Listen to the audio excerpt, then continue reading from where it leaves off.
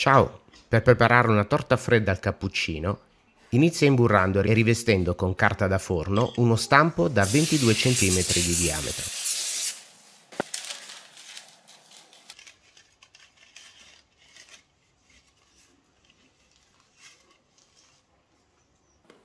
Poi sbriciola con il mattarello 180 g di frollini al cacao.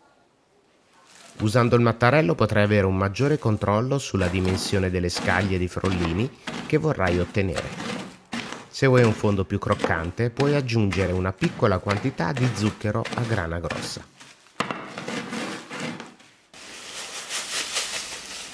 Aggiungi 90 g di burro fuso intiepidito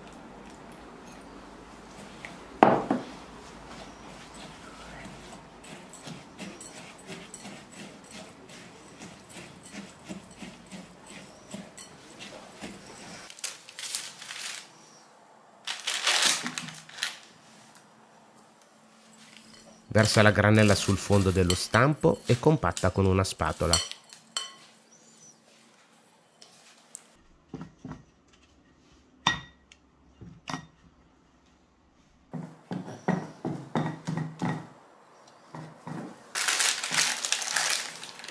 Quindi lascia riposare in congelatore.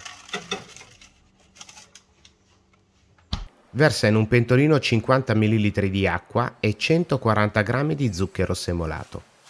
Mescola bene e scalda fino a 121 gradi centigradi. Poco prima che lo sciroppo arrivi a 121 gradi, inizia a montare 80 g di tuorli.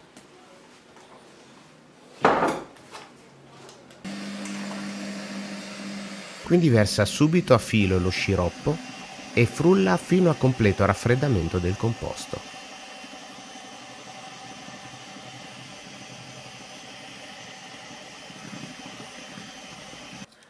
Immergi in acqua fredda per 15 minuti 18 g di colla di pesce. Quindi sminuzza grossolanamente 50 g di chicchi di caffè.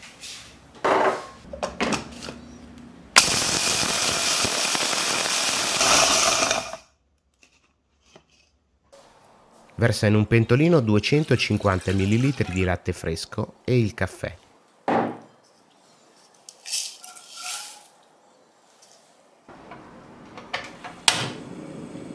Porta a ebollizione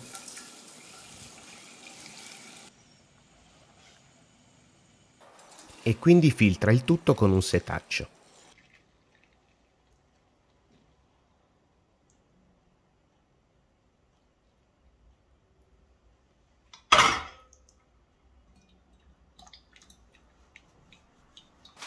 Aggiungi 3 g di caffè solubile e quindi strizza e scioglie la gelatina nel caffè mescolando accuratamente.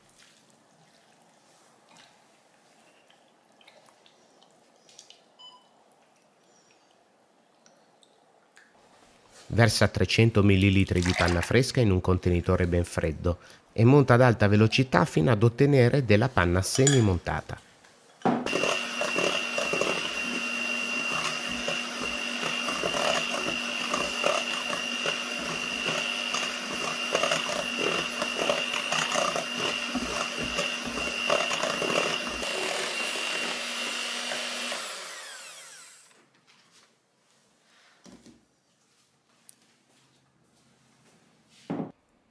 A questo punto mescola il tutto versando in una ciotola capiente. Prima il caffè con la gelatina,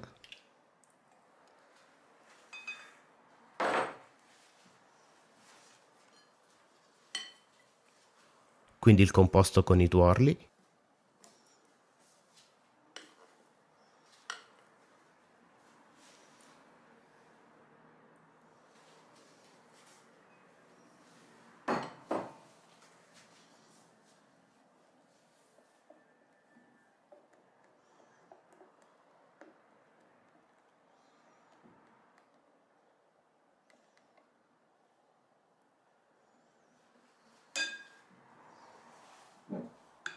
e infine la panna.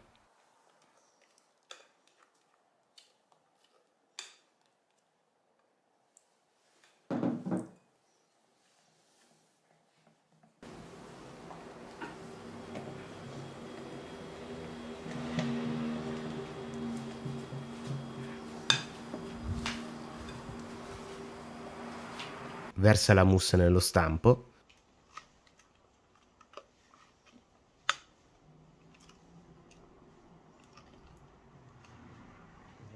Livella accuratamente con la spatola.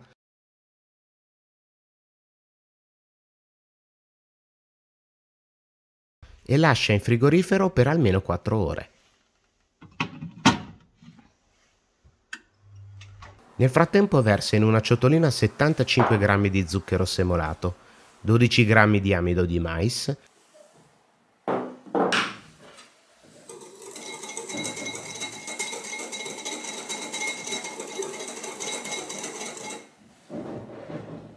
una piccola parte di 200 ml di caffè espresso o alla moca. Mescola bene e quindi versa in un pentolino il composto il restante caffè e 30 ml di liquore al caffè.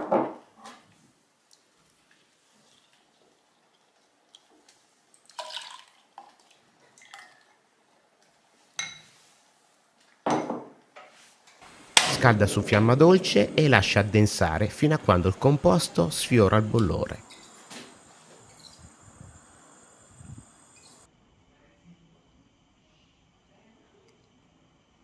Quindi lascialo intiepidire e versalo sulla torta.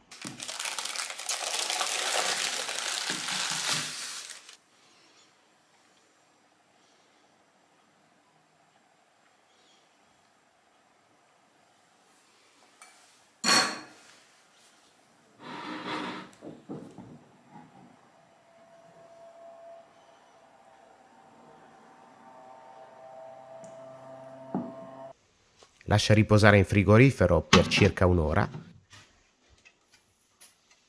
Quindi rimuovi lo stampo e la carta da forno.